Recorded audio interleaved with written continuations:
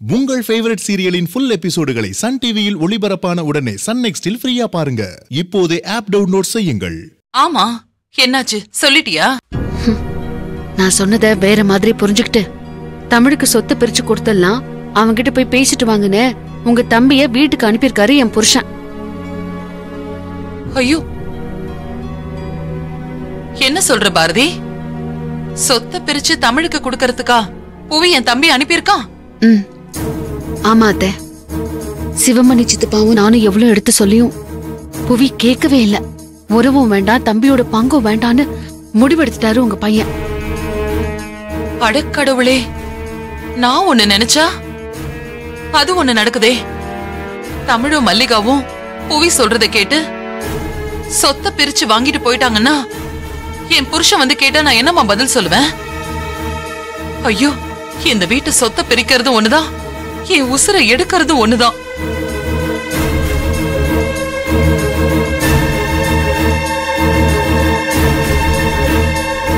நான் திருப்பி கூப்பிடுறேன். ம். மாமா? ம். போய் பாத்தீங்களா பேசுனீங்களா அந்த பத்திரத்தை? என்ன மாமா பத்திரம் உங்க கையில இருக்கு? பேசிட்ட மாப்ள அவனுக்கு சொத்துலாம் வேணாமா? நீயும் அக்காவும் அவனை மன்னிச்சா போதுமா? அதுதான். அவனுடைய பெரிய சொத்தம். முடிவா சொல்லிட்டான். நானும் எவ்வளவோ எடுத்து சொல்லி பார்த்துட்டேன். பணத்தாசையை விட பாசம் தான் பெருசுன்னு அவன் நினைக்கிறான். அது உனக்கு புரிய மாட்டேங்குது.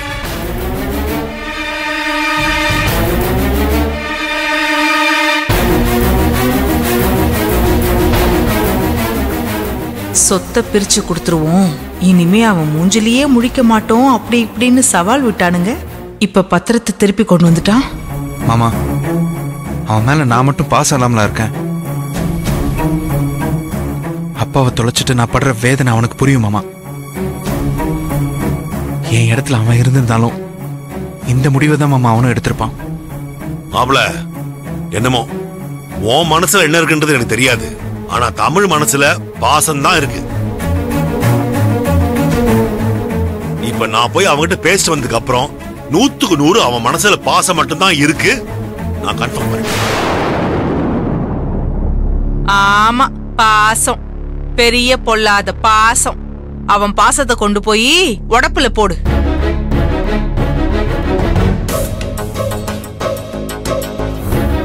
அப்பனை தொலைச்சிட்டோங்கிற கவலை கொஞ்சம் கூட இல்லாம வயித்துல புள்ளைய கொடுத்தவனுக்கு நம்ம வீட்டு சொத்தெல்லாம் வேற ஒரு கேடோ. சொல்ல வந்துட்டான். பாசமா பெரிய பாசம். அனே தமிழ் தான் சொத்து வானா ஒண்ணு வானான்னு சொல்லி அனுப்பிட்டான்ல. கொண்டு போய் கொடுத்த அதை வாங்கல. அப்புறம் எதுக்கு தமிழ் தேவையில்லாம கரிச்சு கொட்டுறீங்க? எப்பா சிவமணி அவனாவது சொத்து வேணான்னு சொல்றதாவது? அங்க ஒருத்தி இருக்காளே மல்லிகா. அவ சொல்லி கொடுத்து இவன் பேசுறான். சொத்து வேணாம் பாசம் போதும்னு சொல்லுங்கன்னு சொல்லி கொடுத்துருப்பா. ஹ, உடனே அவனும் தலையை ஆட்டிக்கிட்டு அப்படியே சொல்லி அனுப்பியிருக்கான். அப்படி பேசினா தானே? அட நம்ம தம்பி நம்ம மேல இவ்ளோ பாசம் வச்சிருக்கானேன்னு அப்படியே அண்ணன் சுருண்டு விழுந்துருவான்.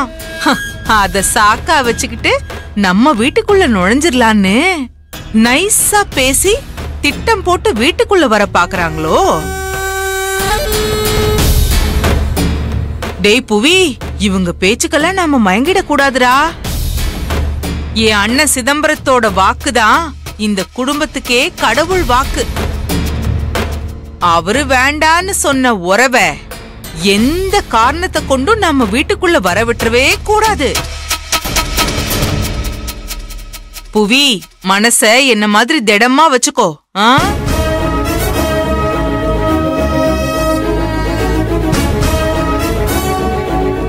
என் மக சொத்து வேண்டான்னு சொன்னத இந்த கோமதி திருச்சு விட்டு புவிய தசை திருப்பி விடுறாளே.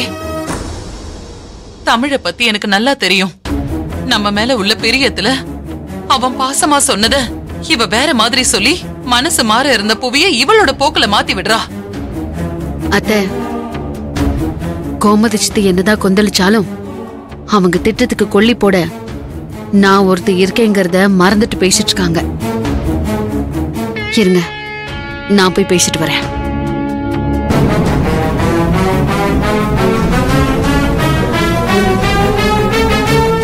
சித்தி.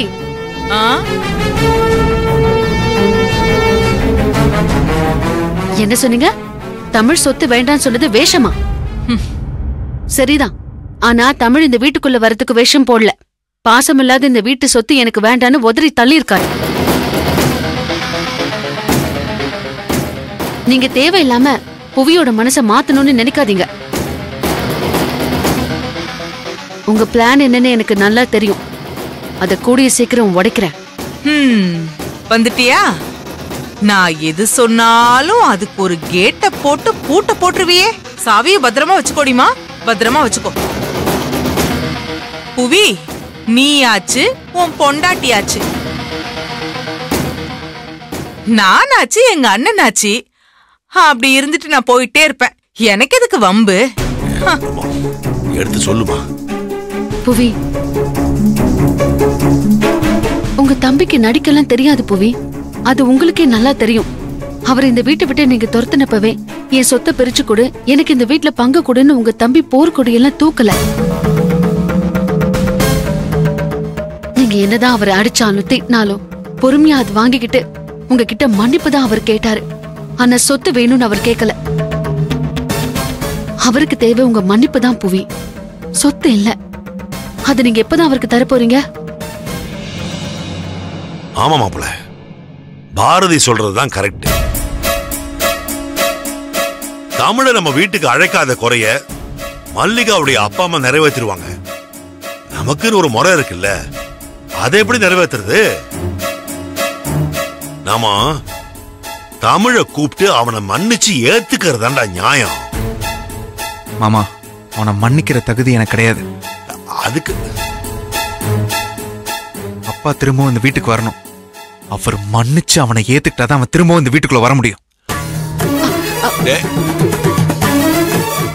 என்னம்மா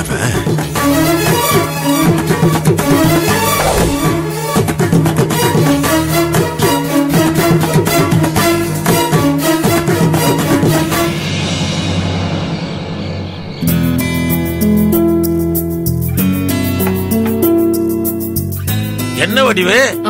ஸ்லோ மோஷன்லயே வேலை பார்த்துட்டு இருக்க? பொண்ணையும் மாப்பிளையும் கூப்பிடு. மல்லி? அம்மா மல்லிகண்ணு. ஆ? மாப்பிளைய கூட்டிட்டு இங்க வாங்கண்ணு.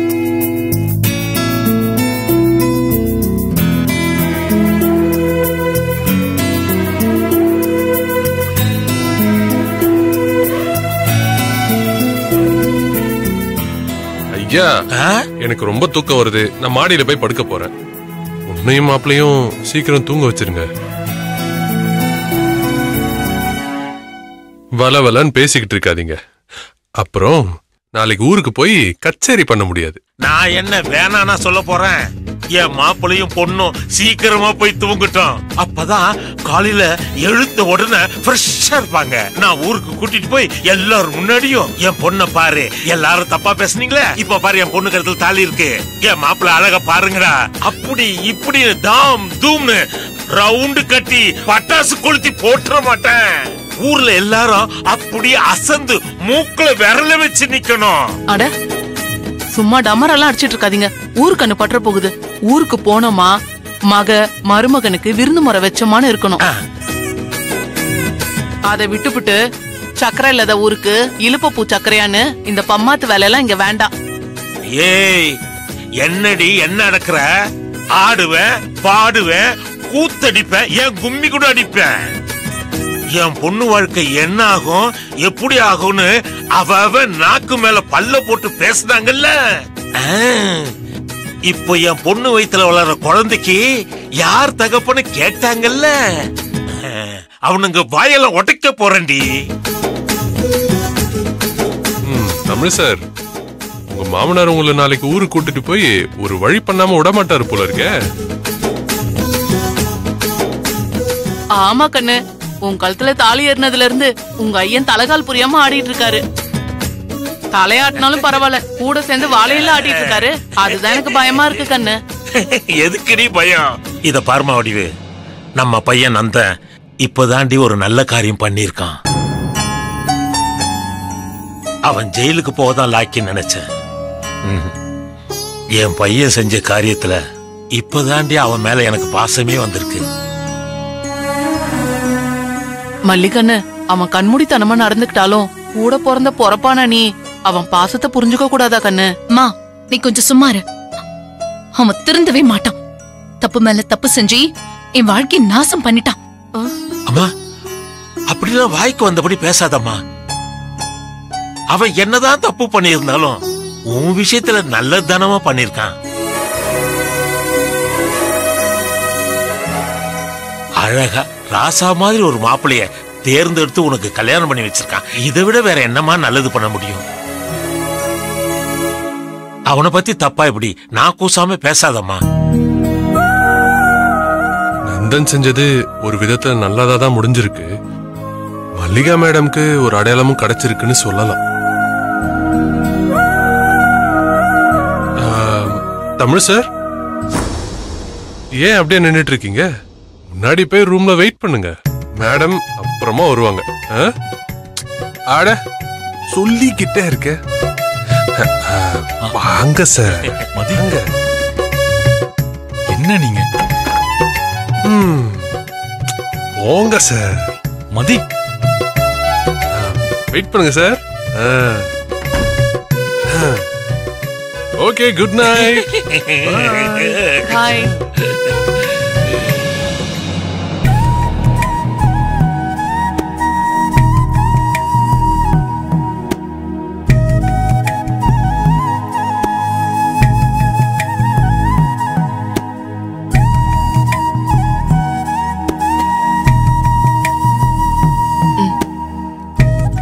புடி கண்ணு. புடி. ம்.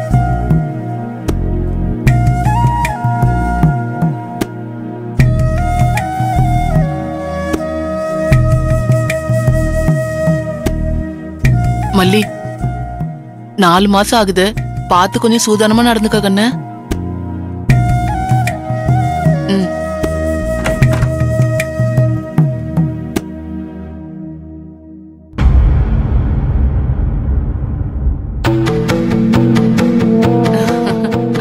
அவங்க நிம்மதியா தூங்க போறாங்க. எனக்கு தான் ரொம்ப வருஷமா தூக்கமே இல்லாம இருக்கேன் அதுக்கு? அவங்க கையில சொம்பையும் பாலையும் கொடுத்து விட்ட மாதிரி நீயும் சொம்பும் பாலோட அப்படியே ரூமுக்குள்ள வந்து நின்னா. பல்லு விழுகிற வயசுல பாலும் பழமும் கேக்குதாக்கும்? போய் போத்திக்கிட்டு தூங்குங்க. இல்லனா பொழந்து கட்டிப்புடுவேன். கண்ணு மூடுற வயசுல களியாட்டம் கேக்குதாக்கும்? போங்க. இன்னைக்கு தூக்கம் போங்க போங்க.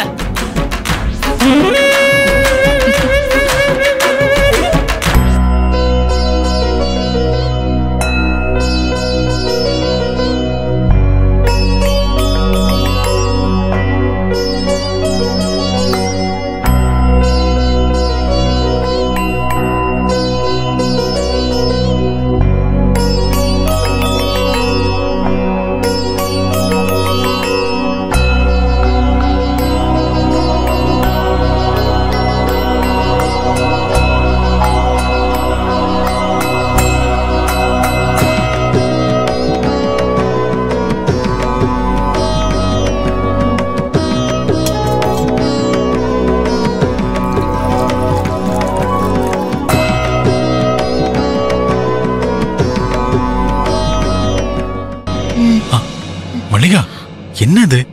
உங்க அப்பா அம்மா சந்தோஷத்துக்காக ஒரே ரூம்ல நம்ம புருஷன் பொண்டாட்டிய நடிச்சா போதும். இந்த பால் பழம்லாம் வேணாங்க.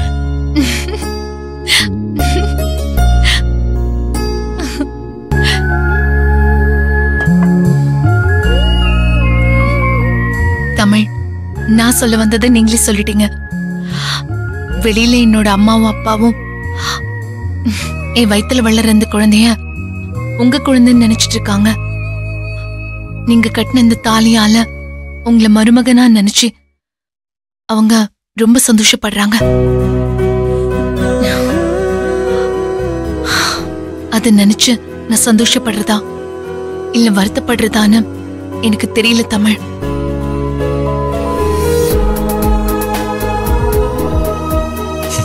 இங்க பாருங்க மல்லிகா. இப்படி எல்லாம் நடக்கும் நான் கனவுல கூட நினைச்சு பார்க்கல. உங்க வயித்துல இருக்கிற பாரதி அண்ணியோட குழந்தைய அவங்க கிட்ட ஒப்படைக்கிற வரைக்கும் தான் நம்ம போட்டிருக்கிற இந்த புருஷன் பொண்டாட்டி வேஷம் இருக்கும். அதுக்கப்புறம் உங்க வாழ்க்கை வேற என் வாழ்க்கை வேறன்னு நம்ம வேற வேற திசையில தான் பயணிக்க போறோம்னு நினைச்சேன். அதுக்கு அப்பாவை காரணமா வச்சு தாலி கட்டிக்காம காலத்தை தள்ளி போடலாம் நினைச்சோம். ஆனா பாருங்க விதி உங்க அண்ணன் நந்த மூலமா இப்படி விளையாடிருச்சு. இனிமே நீங்களும் நானும் பிரியணும்னு நினைச்சா கூட நடக்காது.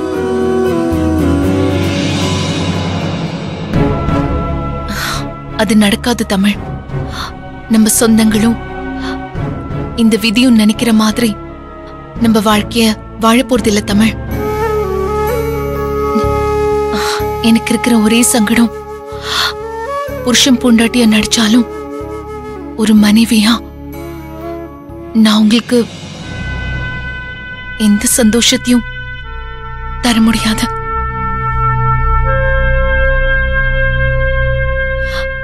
நான் உங்க வாழ்க்கையில குறுக்க வராம இருந்திருந்தா உங்களுக்கு இன்னொரு கல்யாணம் ஆயிருந்திருக்கும்.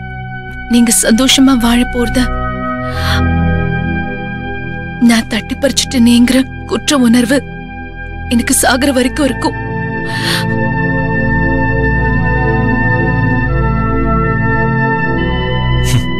மல்லிகா நான் ராகினியை டைவர்ஸ் பண்ணதுக்கு அப்புறம் இன்னொரு வாழ்க்கையை பத்தி நான் யோசிச்சது கூட கிடையாது. எனக்கு துணையா இன்னொரு மனைவி வருவாங்கன்றத நான் கற்பனை கூட பண்ணி பார்த்தது கிடையாது. ஆனா வாழ்நாள் முழுவதும் மனைவியே இல்லைனாலும் ஒரு தோழியா என் கூட இருக்க போறீங்க. அதை நினைச்சு நான் ரொம்ப சந்தோஷப்படுறேன். என்னை அன்பா பாத்துக்கிற என் நல்லது கெட்டதுல எனக்கு கூடவே இருக்கிற ஒரு துணையை தான் அந்த கடவுள் எனக்கு கொடுத்துருக்காரு. நாம கடைசி வரைக்கும் இப்படி ஃப்ரெண்டா இருந்தா அதுவே போதும் மல்லிகா அந்த புனிதம் கெடாம நான் உங்களை பார்த்துப்பேன்.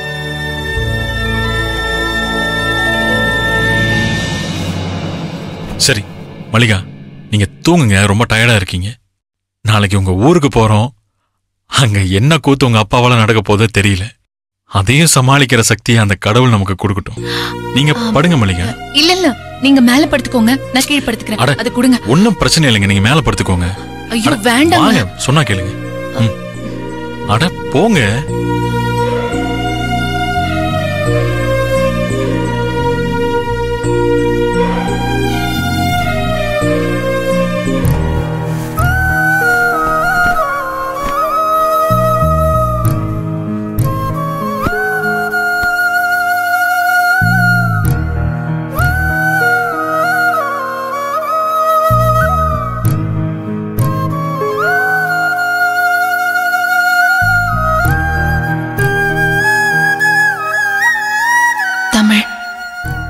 நீங்க என்னதான் எனக்கு சமாதானம் சொன்னாலும் எனக்காக நீங்க எழுந்தது நிறைய இருக்கு. என்னை பொறுத்த வரைக்கும் நான் உங்களுக்கு துரோகம் பண்ணிட்ட தமிழ் என்ன மன்னிச்சிருங்க.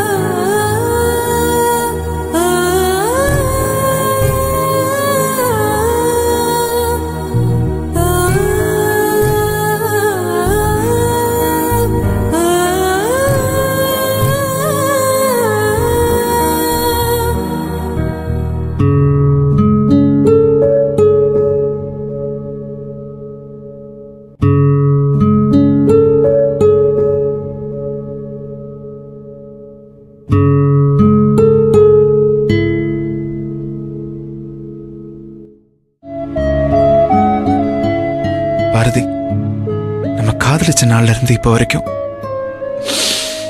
நமக்குள்ள ஒரு சின்ன சண்டை மனஸ்தாபம் எதுவுமே வந்ததில்லை. உனக்கும் எனக்கும் நடுவுல பாசமும் காதலும் தான் அதிகமாயிட்டே இருந்துச்சு. இந்த தமிழ் பண்ண பிரச்சனைனால தேவையில்லாத குழப்பம் சங்கடம்லாம் நமக்குள்ள வந்து நம்ம ரெண்டு பேருக்கும் ஒரு இடைவெளி ஏற்படுத்துற மாதிரி ஆயிடுச்சு பருத்தி இப்படி ஒரு இடைவெளி நமக்குள்ள வரும்னு நான் சத்தியமா நினைச்சு பார்க்கலடா.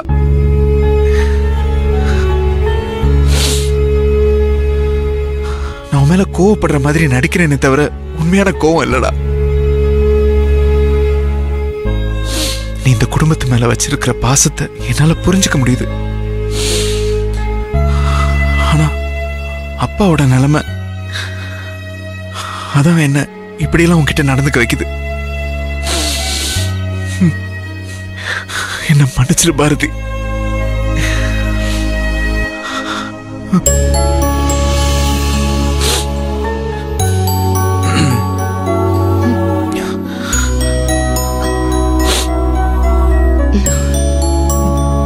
புவி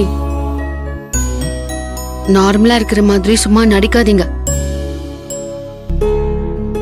எதுக்கு இப்ப வந்த கண்ணீரை துடைக்கிறீங்க? நீங்க யாரையோ நினைச்சு அழறீங்கன்னு எனக்கு புரியுது. கண்ணீரா? அது கண் ஏதோ எரிச்சலா இருந்துச்சு அதான். ம்.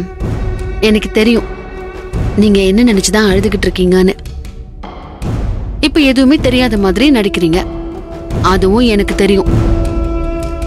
நீங்க என் மேல வச்சிருக்கிற பாசத்தை உங்க அப்பா மேல வச்சிருக்கிற மரியாதைக்காக மறைக்கிறீங்க. அதான் மனசுக்குள்ள இருக்கிற உண்மை இப்படி கண்ணீரை வர வைக்குது. பாரதி என் மனசே உன்கிட்ட தானே இருக்கு? உனக்கு தெரியாம இருக்குமா? என்ன புவி? என்ன யோசிக்கிறீங்க? உண்மைய இப்படி உடைச்சிட்டேனேன்னு யோசிக்கிறீங்களா? இல்லையே நீ நினைக்கிற மாதிரிலாம் இல்லை பாரதி. அப்பாவோட வாக்கை காப்பாற்றணும்னு நினைக்கிறேன். நீ இந்த குடும்பம் பிரியக்கூடாதுன்னு மட்டும்தான் நினைக்கிறேன் நம்ம ரெண்டு பேருக்கும் இவ்வளவு வித்தியாசம் இருக்கும்போது நான் எதுக்கு ஒன்ன நினைக்க போறேன். நம்பிட்டேன். அப்போ கண்ல கண்ணீர் எதுக்கு வந்தது? ம் எதுக்கு வந்தது? அது அப்பா கனவுல வந்தாரு. அவரை கட்டி பிடிச்சிட்டு என்னை விட்டு ஏன்பா போனீங்கன்னு அழுத அப்படி நினைக்கும் போது ஒருவேளை கண்ணில் தண்ணி வந்திருக்கலாம்.